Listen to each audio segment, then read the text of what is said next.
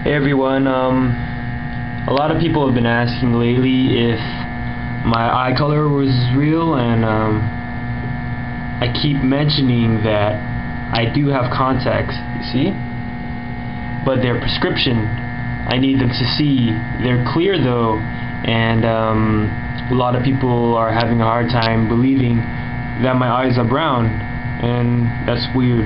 So I just wanted to prove to you guys that I'm not lying about it. So here we go. See?